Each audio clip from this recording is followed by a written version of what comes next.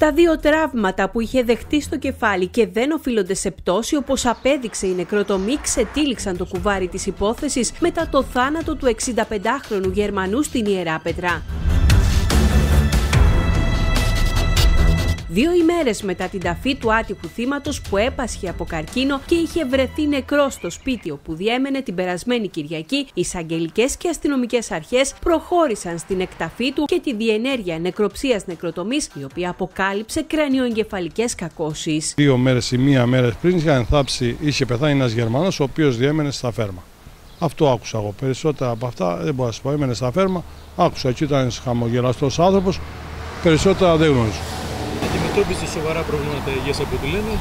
Ε, αυτό το άκουσα στην κυρία. Εγώ δεν, μπορώ, δεν ε, το γνώριζα τον άνθρωπο, δεν ξέρω. Απλώς το άκουσα έτσι ότι είχε προβλήματα υγείας. Είχε προηγηθεί μαρτυρία και βίντεο που έδειχνε ένα άτομο με κουκούλα και γάντια να μπαίνει στο σπίτι του Γερμανού λίγο πριν τις 9 το βράδυ της προηγούμενης Κυριακής. Λίγες ώρες πριν η γυναίκα που φρόντιζε τον 65χρονο Γερμανό τον εντοπίσει νεκρό σε μια λίμνη αίματος.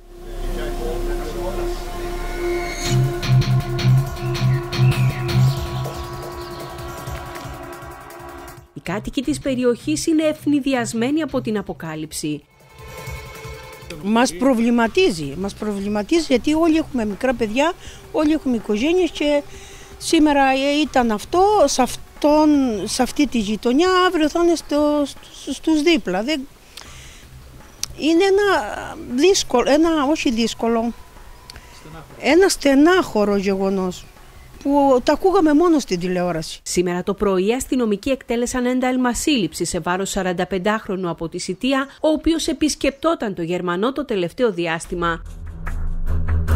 Όπως όλα δείχνουν, μετά από άρση τηλεφωνικού απορρίτου και αξιοποίηση βίντεο από πολλά και διαφορετικά σημεία, οι αστυνομικές αρχές κατάφεραν να ταυτίσουν το 45χρονο με τον κουκουλοφόρο που φαίνεται να βγαίνει από το σπίτι του θύματος. Έχω ακούσει ότι ήταν ένας πολύ φιλήσυχος άνθρωπος και με τους γειτόνους. Δεν, δεν ακούστηκε τίποτα.